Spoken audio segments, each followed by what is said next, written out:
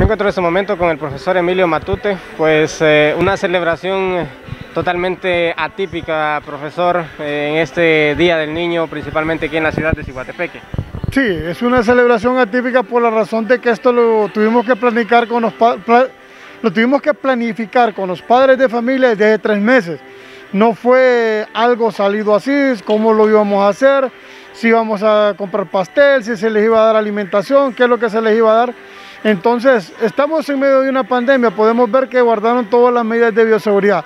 Aquí todos nos lavamos las manos, todos nos fumigamos y todos guardamos las medidas de bioseguridad con los niños porque sabemos que esto no pasa, esto sigue. Entonces, eh, ellos están contentos, están felices porque es su día y el niño, el día del niño lo mira como algo grande. Es una celebración, eh, como usted lo dice, profe, bastante grande y importante también, puesto que el año, el año pasado tampoco se pudo realizar dicha celebración. El año pasado nosotros lo que hicimos solo fue entregar bolsitas de confites con los niños, este año no, ya este año comenzamos a trabajar semipresencialmente y también empezamos a planificarlo.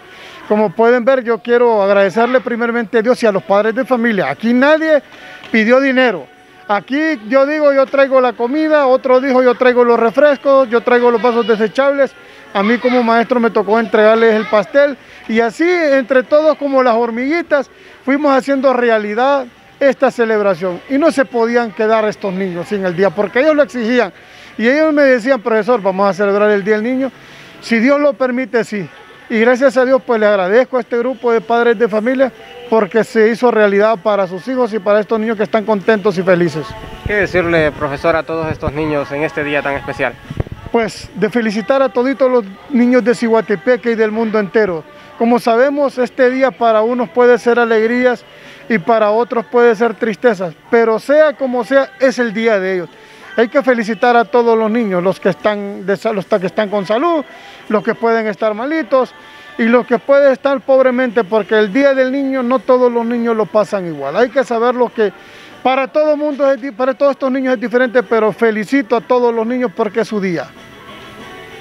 Sí, muy importante y muy alegre de ver que nuestros niños, a pesar de que hemos estado pues con esta nueva normalidad de la pandemia, pues aunque sea algo sencillo, pues se les está festejando este día porque ellos se lo merecen, ya que durante todo el año pues han estado recibiendo clases semipresenciales y es mm, merecido pues hacerles un pequeño festejo a ellos por ser su día hoy. Ustedes como padres de familia, ¿cómo ven toda esta actividad que se, realiza, que se realiza hoy y se ha venido realizando también durante todo el año? Pues mire, nosotros hemos estado siempre anuentes, apoyando al, profesor Emilio en todo lo que podamos para que los niños no pierdan pues este año escolar.